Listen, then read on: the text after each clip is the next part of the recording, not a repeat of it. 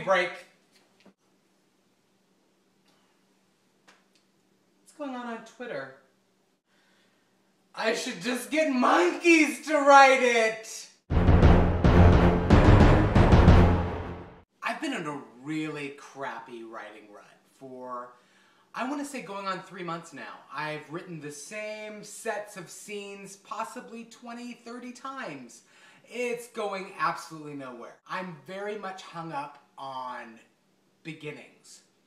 Beginnings are really drummed into you as aspiring writers in terms of if you don't hit in the beginning, no one's going to ask you to read a partial, no one's going to ask you to read a full. Agents and editors will just kind of go, eh, and then that'll be the end of it. It's kind of stuck in my head. And so right now I'm really frustrated about writing something new. And this is something new. Um, I've seen a few people who've already read the arc saying that they can't wait to read the sequel to Velveteen, but at this point there is no sequel to Velveteen. I hate to break that to people.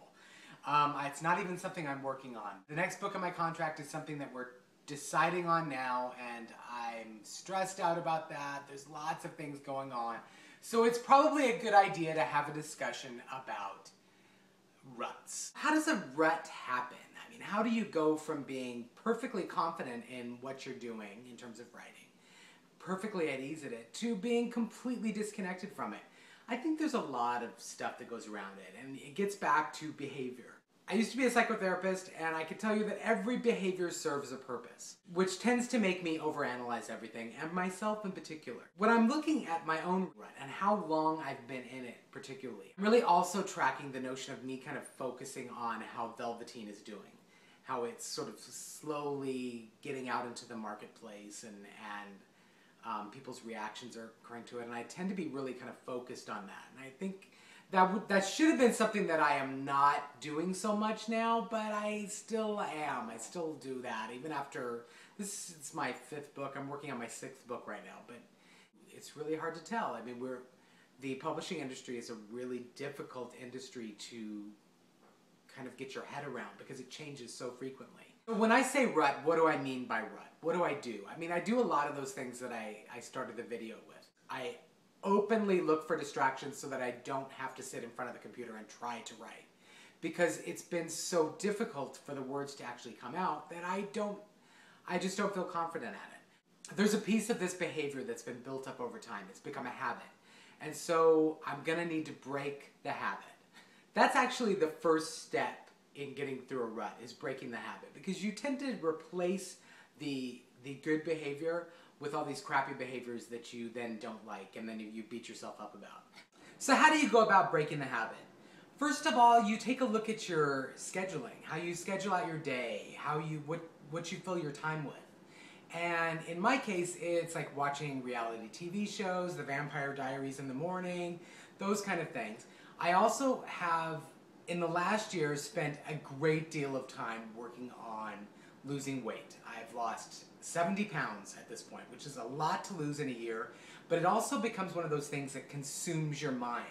So in those times where I, um, were last year, maybe, or even, you know, 18 months ago, when I would think about writing, um, and, and think about all those things that were gonna, were going into Velveteen, and, all of the descriptions and the, and the dialogue and everything, that would consume my, my thoughts when I was being quiet.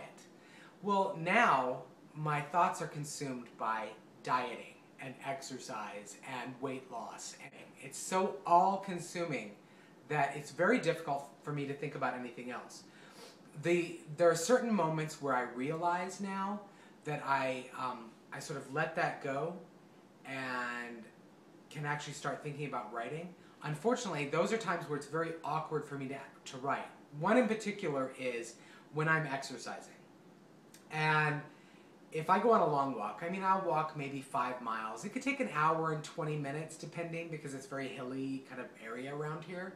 Um, but during that time, I undoubtedly get ideas for stuff to write.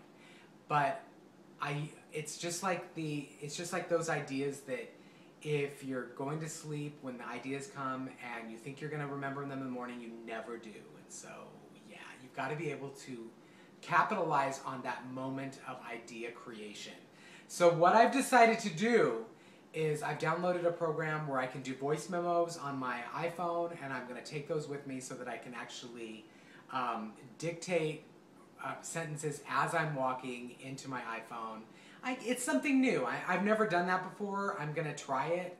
The other thing is, is that I'm looking for inspiration in other places. I picked up a big stack of books yesterday that have um, male protagonists in them, and um, these are both adult and YA books, and so I'm just kind of getting a feel for um, how different authors deal with male characters and and how they how they go about entering into story, that kind of thing. Because yeah, I'm that's it. I need my I need my opening chapter to be a really big hook.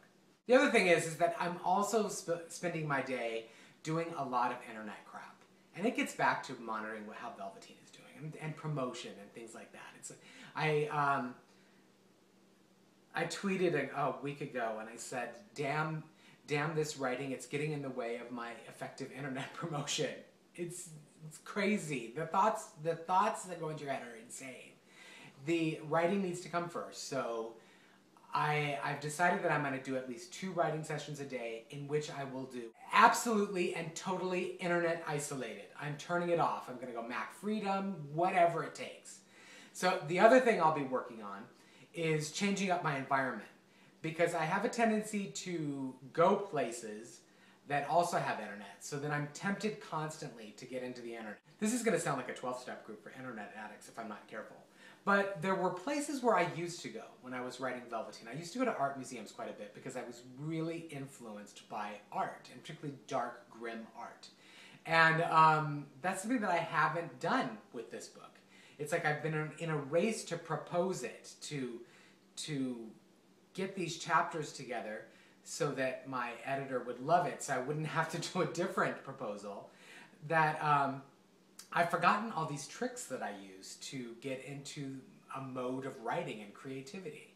So that's what I'm working on. I'm working on freeing up time and making sure that I'm using a, using time effectively for writing.